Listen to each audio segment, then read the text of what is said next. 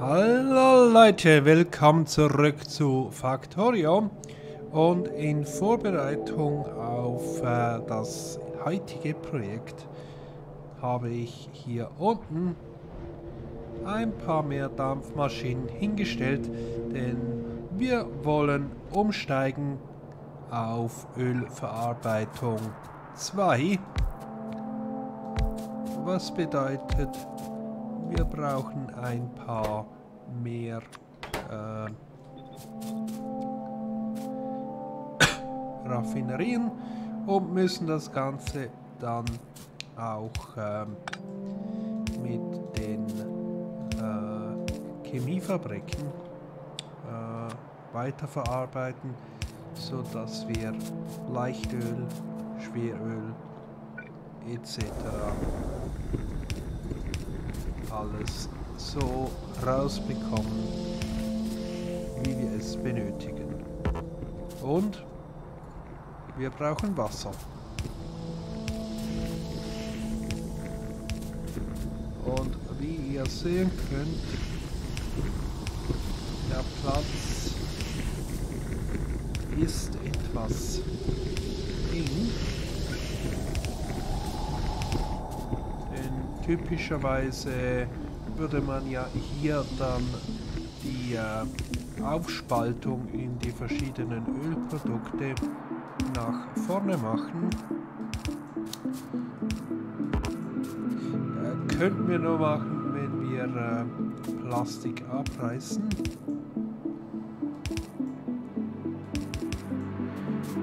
Was ich eigentlich nicht unbedingt will. Sehen, wie wir da umhin kommen. Die erweiterte Ölverarbeitung produziert etwas zu viel Schweröl. Darum werden wir hier oben einfach mal zwei Maschinen hinstellen, welche aus dem Schweröl Leichtöl machen. Ähm und das kommt dann in diesen Tank rein. Da müssen wir noch Wasser anschließen. Liegt ja gleich nebenan.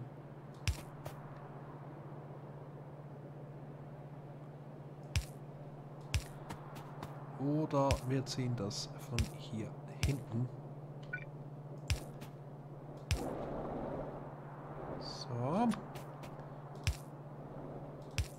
Das hätten wir. Dann hier haben wir Schweröl. Ähm, daraus machen wir einmal ähm, Schmiermittel.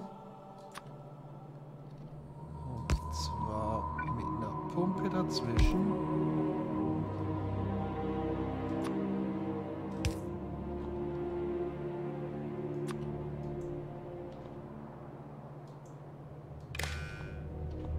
einfach so, wo wir sagen, wenn wir zu wenig Schmiermittel haben,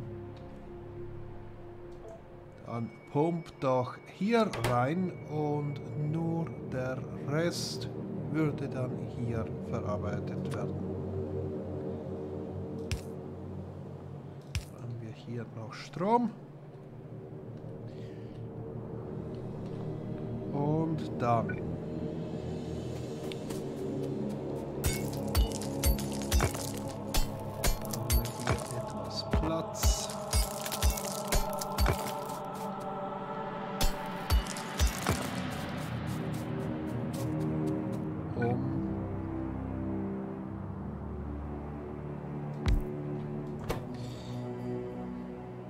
Aus Leichtöl und Wasser Flüssiggas zu machen.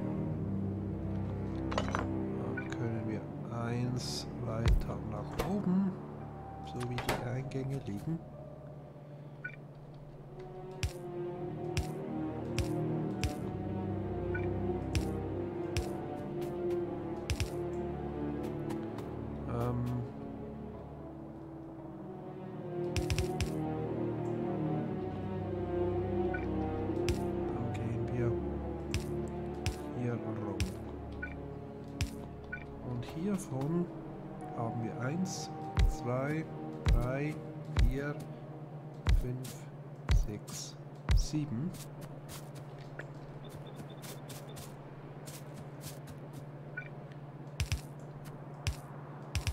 Und das sollte einen ausgewogenen Mix hingeben.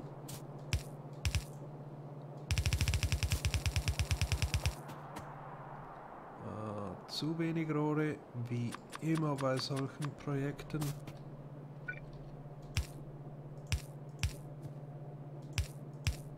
Wahrscheinlich auch zu wenig Untergrundrohre.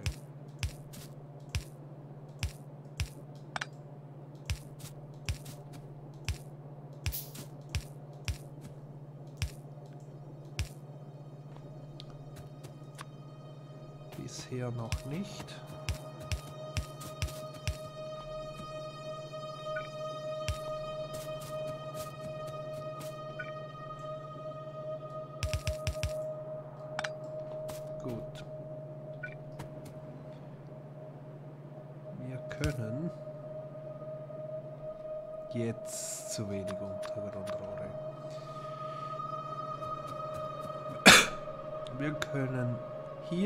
Das nach oben anschließen, da nach unten, aber äh, dann auch hier an die Hauptleitung.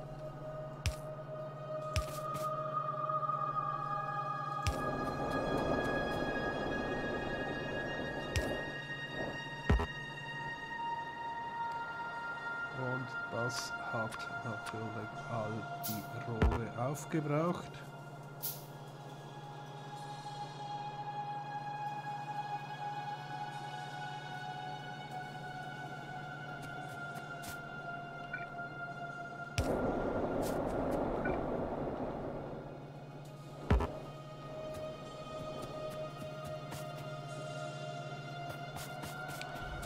Dann müssen wir auch hier unten noch die Leinrezepte einstellen.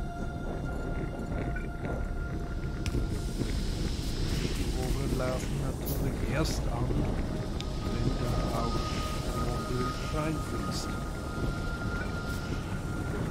Also, da brauchen wir mal was. Da brauchen wir einen Knick. Und dann läuft das Ganze. Gut. Kümmern wir uns mal kurz um äh, Forschung. Ähm, wir können dann da äh, Richtung nächste Technologiekarten gehen. Aber forschen wir doch äh, erstmal einfach mal den Rest weg. Damit das aus dem Weg ist.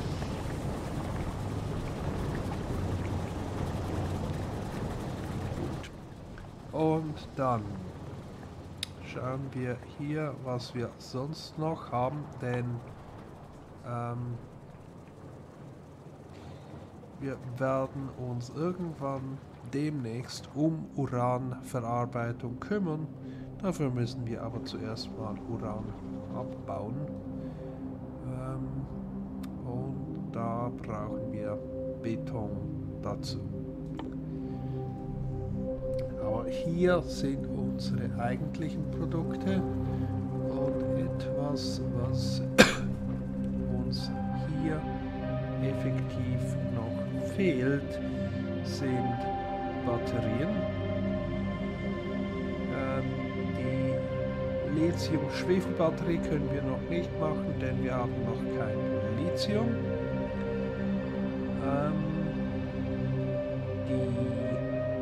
Batterien brauchen wir dann für die äh, Elektromotoren. Ah, Elektromotoren können wir auch machen. Die blauen Schaltkreise, dafür brauchen wir seltene Metalle. Das sieht nach einem eigenständigen Projekt aus. Lithium bekommen wir aus Lithiumchlorid und Lithiumchlorid. Okay. Da müssen wir mal schauen, wie wir da rankommen. Ähm ja, ich denke, Elektromotoren und Batterien dürften das nächste sein. Ähm, dafür denke ich, nehmen wir mal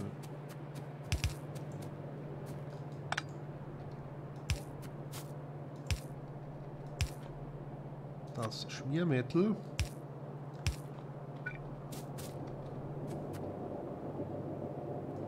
Und dann den Schwefel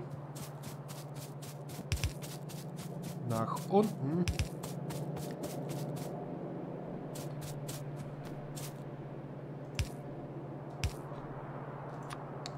Wo wir all unsere anderen Goodies haben.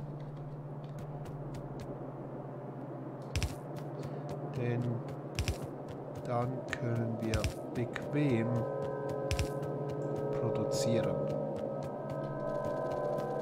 Nun, da wir beides hier hinten mit auf unserem Bus haben, wollen wir mal schauen, wie sieht es denn so aus, wenn wir Flugrobotergestelle herstellen wollen. Äh, wo sind sie denn? Wo sind sie denn?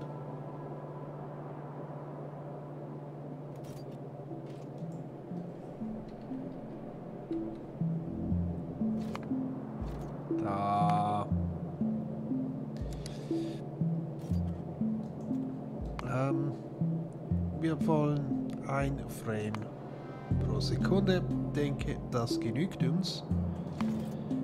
Ähm, da brauchen wir acht Maschinen und wir werden etwas für weitere Anwendungsfälle wie Akkus und äh, Akkumulatoren und äh, Lasergeschütze werden wir auch Batterien brauchen. Also ich denke, vielleicht äh, brauchen wir da dann 10 Stück davon.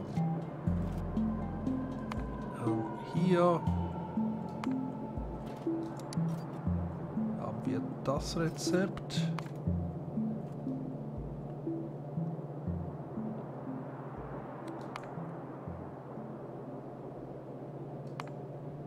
Wenn wir hier die Maschine nehmen, was ändert das? Verhältnis 1 zu 1.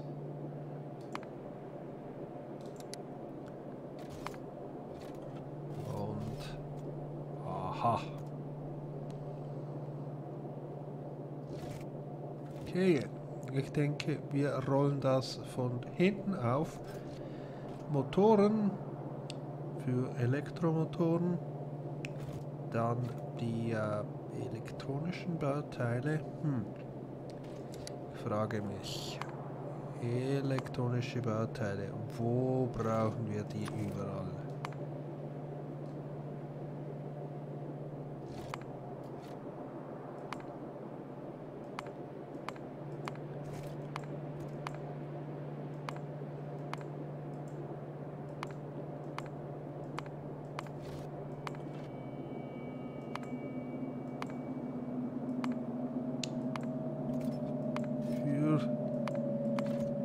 Module.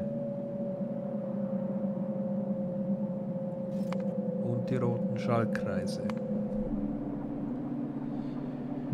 Ähm, okay. Ich denke, wir stellen die wie bei den roten Schaltkreisen vor Ort her. Aber lass mich doch mal mit den Elektromotoren beginnen.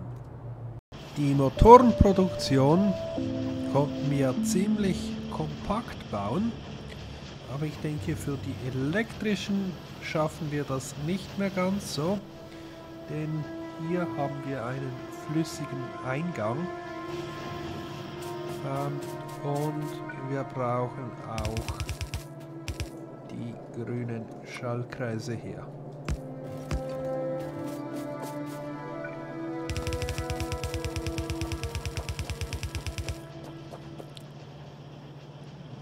So, das ist unser Ausgangsband.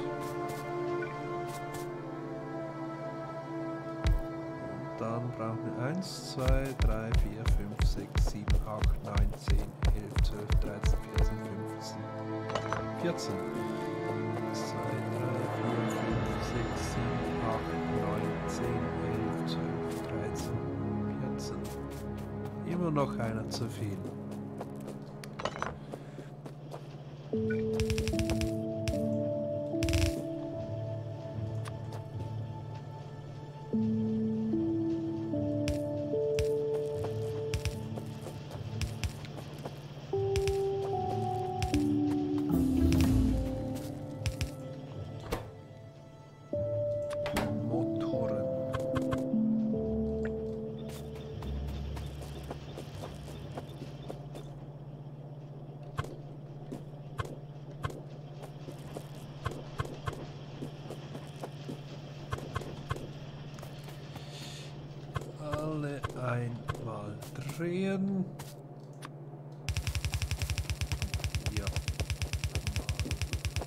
Mal rumlegen.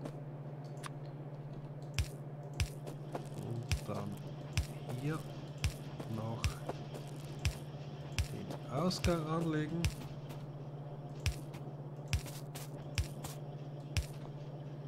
Und jeden zweiten klicken wir kurz, sodass wir eine schöne Verteilung auf dem Band bekommen.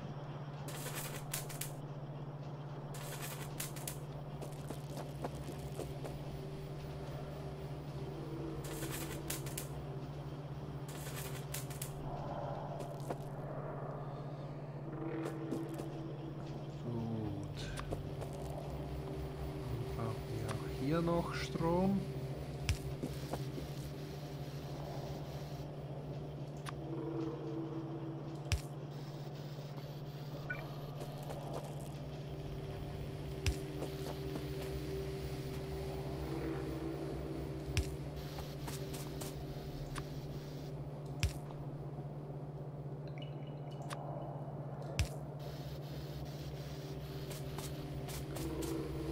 Und hier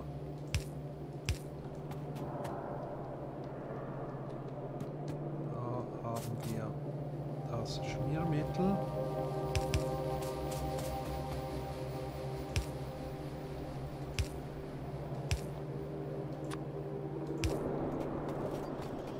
Und so kommen wir an Elektromotoren. Gut. Der nächste Schritt sind die elektrischen Bauteile. Davon brauchen wir auch wieder 14 Maschinen. Und ich glaube, das Design können wir von hier kopieren. Das sind sieben. Das heißt, wir brauchen doppelt so viel.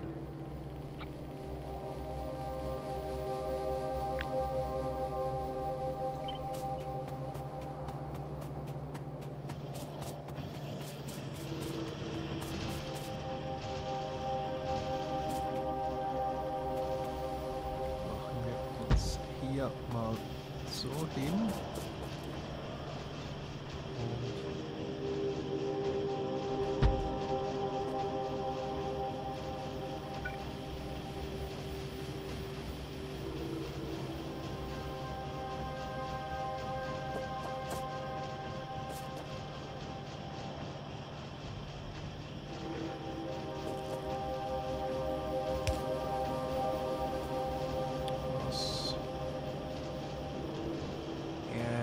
Gefällt mir nicht. Gefällt mir nicht.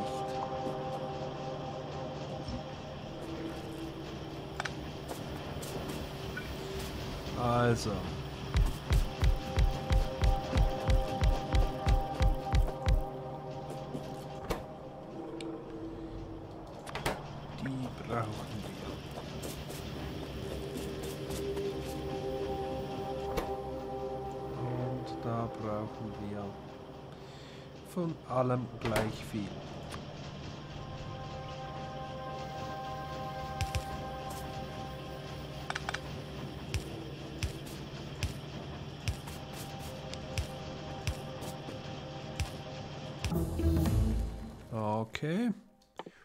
Uh, Panzer. Aber ich glaube, für den brauchen wir speziellen Treibstoff. Denn auch dem Auto können wir nicht so einfach fahren.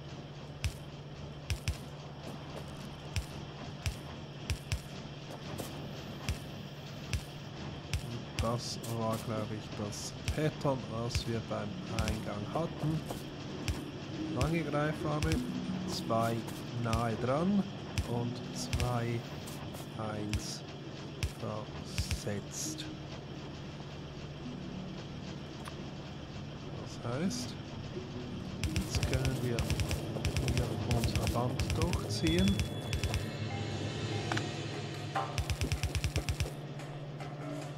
Ähm, wenn wir genügend Untergrundbänder hätten, würde das auch funktionieren.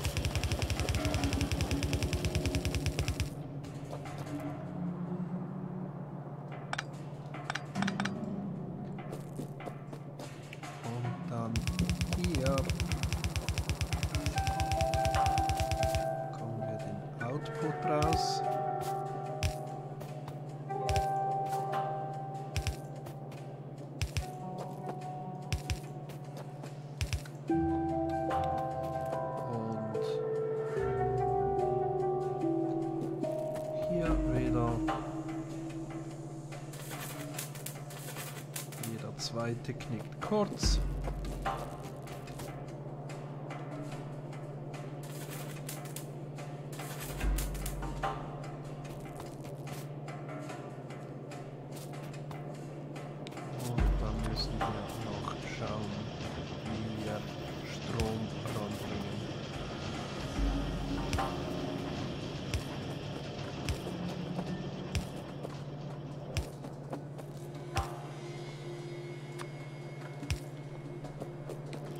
Kurz. Material. Batterien waren dann ziemlich einfach und die Flugrobotergestelle sollten auch nicht so schwer sein, jetzt wo wir alles haben, was wir brauchen. Ich habe mich für eine lange Reihe entschieden, denn wir brauchen drei Bänder wir brauchen sicher ein volles Band für die elektronischen Bauteile und dann können wir die Elektromotoren und die Stahlplatten zusammenlegen und dann noch ein Band für die Batterien. Das heißt, selbes Setup wie hier, Ausgang auf der anderen Seite. Und ich denke, damit mache ich Schluss für heute. Bis zum nächsten Mal stelle ich das so fertig und dann sollten wir in der Lage sein, nächstes Mal Roboter zu haben. Nicht, dass uns das schon was bringt, denn wir haben noch keine anständige Rüstung und auch äh, gar nichts, wo wir die reinpacken können. Aber irgendwo muss man ja anfangen. Also bis zum nächsten Mal und tschüss.